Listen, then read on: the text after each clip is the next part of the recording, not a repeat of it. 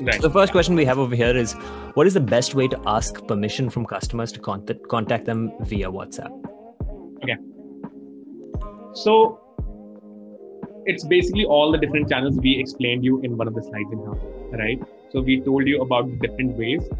These are good ways uh, to ask your users to contact them on WhatsApp, right? Because if someone is clicking on a button, if someone is it's a user initiated conversation right so someone is clicking on your on a on a button on your website or someone is clicking on uh, your facebook ad someone is clicking on a qr like scanning a qr code or clicking on an sms campaign and like you, there are different ways to drive or get permission from your um, users to contact them on WhatsApp, right? So it's called an opt-in. You need to basically have, have an opt-in from your customers that you can reach out to them again, or you can you can connect with them on WhatsApp. So I think that's that's these are the classic ways of uh, getting opt-ins from your customers. We'll also they are also I think we've written a help doc or we're, writing a help doc around how you can drive more opt-in